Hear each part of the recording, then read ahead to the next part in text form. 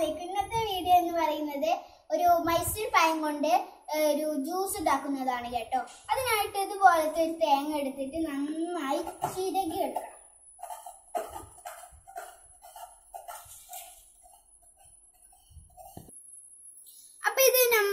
വാഴക്ക juice പഴം juice ഉണ്ടാക്കാൻ വേണ്ടിയിട്ട് എന്താ മൈസൂർ പഴം എടുത്തതാണ്. ഇപ്പം ഇത് നമ്മൾ തേങ്ങ നേരത്തെ ചിരവിയ തേങ്ങയാണ് ഈ കാണുന്നത്.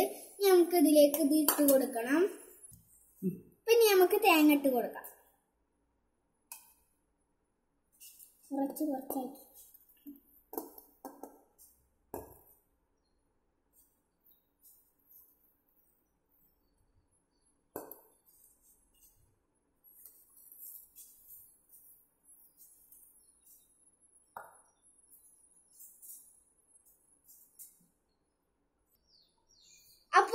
തേങ്ങ ഇട്ട് കൊടുത്തിട്ടുണ്ട്. പാലിന് പകരമാണ് കേട്ടോ നമ്മൾ തേങ്ങ ഇട്ട് കൊടുത്തിട്ടുള്ളത്. അപ്പോൾ ഇത് ഒരു വെറൈറ്റി ജ്യൂസാണ് പിന്നെ ഇതിലേക്ക് ഒരു അര ഗ്ലാസ് വെള്ളം ഒഴിച്ചെടുക്കാം. അപ്പൊ വെള്ളം ഒഴിച്ചെടുത്തിട്ടുണ്ട്. ആദ്യമായിട്ട് ഞാൻ കേട്ടോ ഈ ജ്യൂസ് ഉണ്ടാക്കുന്നത്. അപ്പൊ നമുക്ക് എങ്ങനെ അപ്പോൾ ഞങ്ങൾ പാലിന് പകരം തേങ്ങ ഇട്ടിട്ട് സാമ്പിൾ എന്താണെന്ന് നമുക്ക് നോക്കണം. ടേസ്റ്റും അപ്പൊ നമുക്ക് ശരിയാണ് ആവശ്യത്തിന് ആവശ്യത്തിന് പഞ്ചസാര. അപ്പൊ ഇതിലേക്ക് പഞ്ചസാര ഇട്ട് കൊടുക്കണം കേട്ടോ.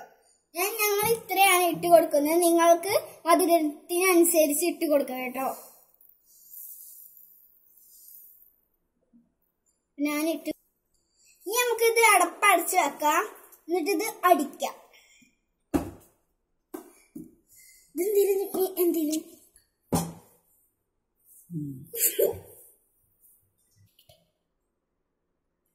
നമ്മൾ ഒഴിച്ചുകൊണ്ടിരിക്കുകയാണ്.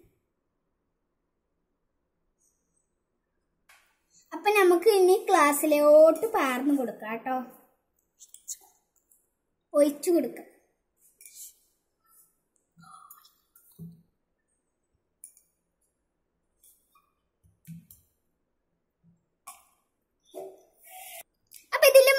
മുകളിലോട്ട് ഞാൻ കുറച്ച് തേങ്ങാപ്പീര് ഇട്ട് കൊടുത്തിട്ടുണ്ട്. ഇനി വീട്ടിൽ ഓർലിക്സും പൊടിയോ ബൂസ്റ്റും പൊടിയോ എല്ലാവരൊക്കെ ഇങ്ങനെ ഇട്ട് അങ്ങനെ ഇട്ട് കൊടുത്താൽ മതി. അപ്പൊ നമുക്കൊന്ന് ടേസ്റ്റ് ചെയ്ത് നോക്കാം. നമുക്ക് കഴിച്ചു നോക്കാം കേട്ടോ ആദ്യം ഇതൊന്ന് ഇളക്കി കൊടുക്കാം.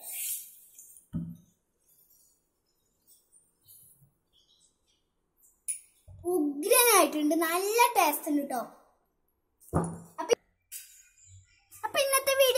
കഴിഞ്ഞിട്ടുണ്ട് അപ്പൊ ഇനി നാളെ നമുക്ക് കാണാം. അപ്പൊ എല്ലാ ഇഷ്ടമല്ല ഒരു subscribe like and share and comment and എല്ലാവരും ഇട്ടാൽ എന്റെ എന്താ പുതിയ പുതിയ ചാനലുകൾ എല്ലാവർക്കും കിട്ടുന്നതായിരിക്കും. അപ്പോ അസ്സലാമു അലൈക്കും നാളെ കാണാം. അപ്പൊ നല്ല രുചി ഉണ്ടായിരുന്നു കേട്ടോ ജ്യൂസ് എല്ലാവരും തയ്യാറാക്കണം കേട്ടോ വീട്ടിൽ. നല്ല- എന്താ പാലിന് പകരം തേങ്ങ മാത്രമേ ഇട്ടിട്ടുള്ളൂ. നല്ല ടേസ്റ്റ് ഉണ്ട്. അപ്പൊ ഇന്നത്തെ